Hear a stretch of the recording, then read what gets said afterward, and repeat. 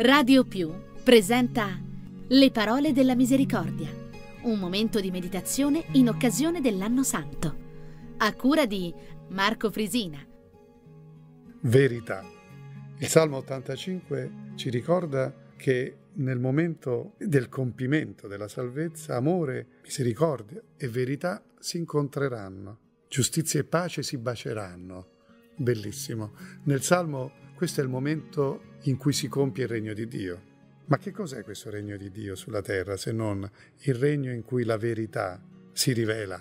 Che cosa significa verità? In greco la parola aletheia significa togliere dal nascondimento, svelare, significa togliere un velo e quindi significa rivelazione. Gesù viene a rivelare agli uomini la verità di Dio e questa verità di Dio, che è amore e misericordia, è finalmente donata in Cristo. Gli uomini rimangono stupiti quando si parla del Vangelo, anche gli uomini di oggi. È bellissimo quando si spiega il Vangelo così com'è, che gli uomini rispondono immediatamente. Gli occhi degli uomini si illuminano. È ciò che cercano, la verità. E cercano quella libertà che deriva dalla verità. Gesù ce lo dice, la verità vi farà liberi. Perché la vera libertà non è fare ciò che ci piace, la vera libertà è scoprire che la nostra vita non ha prigionie, non ha legami, non ha dei padroni. E solo la verità ci fa questo perché svela ciò che noi siamo, svela chi è Dio, svela che cos'è la verità del mondo, che cos'è il mondo. La verità non è un fatto mentale, è un fatto di tutta la nostra vita.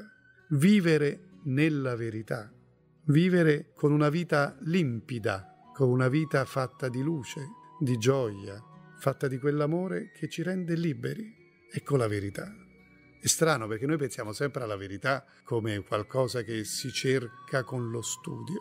Certo, lo studio ci aiuta a trovare le vie della nostra vita per scoprire dove è la verità. Ma Gesù viene incontro a noi prima di tutto lo studio e ci dice io sono la verità e la vita. E allora il cristiano è privilegiato perché sa già dove sta la verità. La verità è una persona ed è Cristo e Lui ci svela tutto.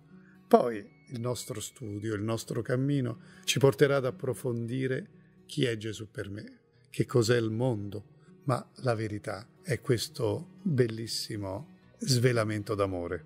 Quando Pilato con Gesù parla della verità, Pilato non capisce di averla davanti e domanda a Gesù, ma che cos'è la verità? E Gesù non risponde, ce l'ha davanti, sono io, Pilato non capisce che cos'è la verità perché è come il mondo di oggi, che cerca le sue verità, cerca le sue certezze, magari nella scienza o nella tecnologia o nella politica, ma non capisce che la verità è un dono di Dio e sta nel cuore della creazione, sta nel cuore dell'uomo. E Gesù ce l'ha svelati questi misteri che invece sono luce straordinaria. La verità non schiaccia, ma libera sempre diventiamo veramente discepoli della verità. Portiamo questa verità che è Cristo al mondo e liberiamo il mondo dalle sue schiavitù. Saremo tutti felici di sentire che misericordia e verità si incontrano, che amore, giustizia e pace si baciano.